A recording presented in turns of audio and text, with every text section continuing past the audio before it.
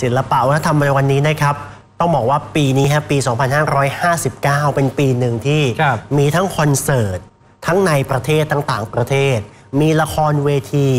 มีการแสดงต่างๆทอล์กโชว์โอ้โหมีให้เลือกชมเยอะแยะไปหมดเลยอ่าตลอดทั้งปีเลยนะครับครับ เดี๋ยววันนี้เราเก็บรวบรวมมานะครับอืมว่ามีงานแสดงดีๆอะไรกันบ้างครับนะครับ ที่มามอบความสุขให้กับคุณผู้ชมนะครับ ติดตามกันนะครับกับทีมงานศิลปะวัฒนธรรมครับาพความสุขจากคอนเสิร์ตงานดนตรีที่เกิดขึ้นในปี 2559 เรียกได้ว่าเป็นปีที่มีคอนเสิร์ตสนุกๆจำนวนมาก และโลดโผนหลากหลายแนว ทั้งศิลปินระดับตำนานไปจนถึงศิลปินในยุคใหม่ สมกับการเป็นปีลิงอย่างแท้จริง ในปีนี้หากนับเพียงคอนเสิร์ตของศิลปินทั้งขนาดเล็กและขนาดใหญ่ของไทย มีจำนวนกว่า 30 งาน และมีให้ได้ชมกันอย่างต่อเนื่อง แต่หากจะเป็นคอนเสิร์ตที่ถูกพูดถึงมากที่สุด และสมควรถูกยกให้เป็นสุดยอดคอนเสิร์ตแห่งปีนั่นก็คือคอนเสิร์ตล้านตลับคอนเสิร์ตรวมศิลปินสาวทั้ง 6 คนของแกลมมี่ที่เคยสร้างปรากฏการณ์ยอดขายล้านตลับมาแล้ว ปีนี้ก็ได้กลับมาทำให้แฟนเพลงที่หายคิดถึงกันอีกครั้ง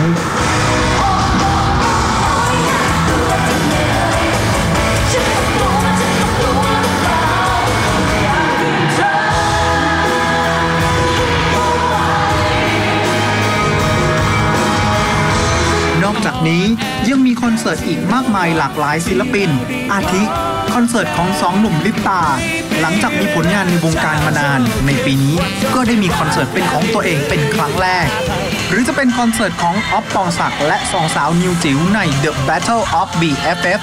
คอนเสิร์ตครบรอบ 25 ปีในวงการดนตรีของคริสติน่าอากีล่าร์ไปจนถึงคอนเสิร์ตของศิลปินรุ่นใหญ่ ทั้ง Grand Ex' Grand Concert ที่ตระเวนพบแฟนเพลงทั่วประเทศตลอดทั้งปี หรือวงดนตรีในตำนานอย่างเฉลียง ก็ได้กลับมารวมตัวกันอีกครั้งในคอนเสิร์ตปรากฏการณ์เฉลียง ขณะที่เมื่อย้อนกลับมาดูภาพรวมของศิลปินต่างประเทศที่มาเยือนบ้านเรา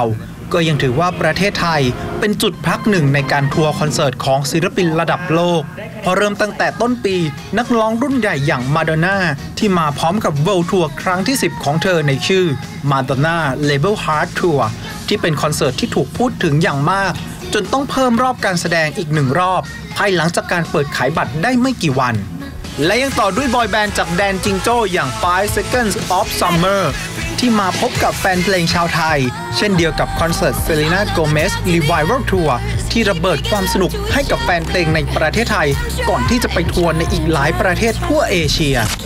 ทางด้านคอเพลงแนวร็อกหรือพังก์ก็มีคอนเสิร์ตให้ได้ชมกันตลอดทั้งปี ตั้งแต่คอนเสิร์ตซานตาน่า Luminosity ในเดือนกุมภาพันธ์ ก่อนที่ในเดือนกันยายนวงควีนที่มาพร้อมกับอดัมแลมเบิร์ตจะได้ระเบิดความมันแบบสุดๆ เป็นครั้งแรกในประเทศไทย ไม่เพียงแต่ศิลปินจากต่างประเทศเท่านั้นที่แวะเวียนมาพบกับแฟนเพลงชาวไทย เพราะยังมีศิลปินจากแดนกิมจิ ตั้งแต่เกิ ร์ลกรุ๊ป Girls' Generation ที่มาเปิดคอนเสิร์ตเป็นครั้งที่ 3 ในเดือนมกราคม และเดือนมีนาคมยังมี 5 หนุ่ม 2PM ที่มาพบกับแฟนเพลงชาวไทยอีกครั้ง และที่เป็นปรากฏการณ์และถูกพูดถึงอย่างมากนั่นก็คือการมาเยือนของพระเอกหนุ่มฝันใจคอซีรีส์ทั่วเอเชีย จากเรื่อง Descendant of the Sun หนุ่มทรงจุงกิในเดือนพฤษภาคม ส่วนสาวกของ God Seven ก็ไม่น้อยหน้า เพราะยังได้พบกับหนุ่มๆในคอนเสิร์ตเมื่อเดือนมิถุนายนที่ผ่านมาอีกด้วย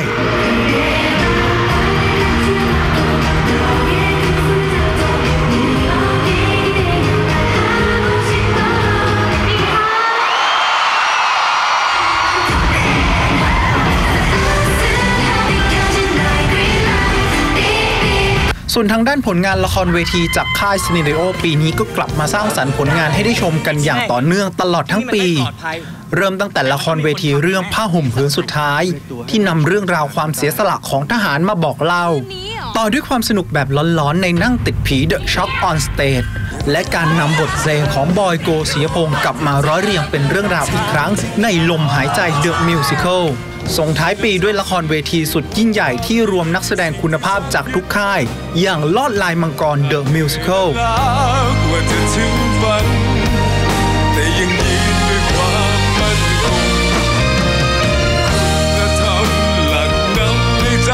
ไม่เคยคิดไปางด้านละครจากโต๊ะกลมปีนี้ก็ได้เอาบทเพลงของเฉลียงที่ยังอยู่ในความทรงจำของคุณผู้ชม มาร้อยเรียงและขับขานใหม่ในละครเวทีแสนอบอุ่นในชื่อ นิทานหิ่งห้อย The Musical ละครร้องเพลงเฉลียง และหากใครยังจดจำเรื่องราวของสุนัขผู้ซื่อสัตย์ในหนังสืออ่านนอกเวลากันได้อย่างมอมค่าย Dreambox ผู้ผลิตผลงานละครเวทีคุณภาพ ได้นำกลับมาสร้างสรรค์ และทำให้มอมได้โลดแล่นบนเวที ด้วยเทคนิคการเชิดหุ่นตุ๊กตา พร้อมกับบทเพลงที่แสนไพเราะน่าประทับใจ นอกจากนี้ Nation Broadcasting Corporation และ The Musical Society of Bangkok ยังได้ร่วมกันนำความรักอันแสนน่าจดจำมาสร้างสรรค์เป็นละครเวทีเรื่องม่านประเพณีประกาศสิทธิ์อาญาสวรรค์นักเรียนทุกคนที่ได้รับพระกรุณาจากพระเจ้าวรวงศ์เธอ พระองค์เจ้าสมสวรี พระวรราชาธินัดดามาศทรงพระกรุณาร่วมแสดงในบท พระมหาเทวีสวรรค์อีกด้วยที่ อันคง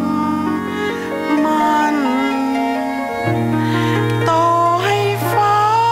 ขวางกันผีเสื้อตัวน้อยเฮิร์ลอยลงจำสุขสมด้วยใจแสรีแม้ว่าในปีนี้เป็นปีที่คนไทยทุกคนจะต้องเผชิญกับความเสียใจครั้งสำคัญ แต่มหรสพเหล่านี้ก็ยังต้องทำหน้าที่มอบความบันเทิง และอาจรวมถึงแก่นสารสาระ ที่จะสร้างแรงพลังใจ ให้ทุกคนก้าวต่อไป ทีมศิลปะวัฒนธรรมนาว 26 รายงาน